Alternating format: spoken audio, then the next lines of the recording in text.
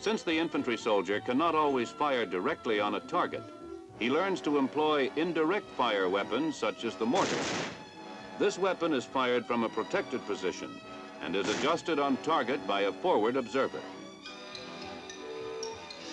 To fight successfully on the modern battlefield and to destroy the mobility of an enemy's tanks and other armored vehicles, today's infantryman has the 106 millimeter recoilless rifle.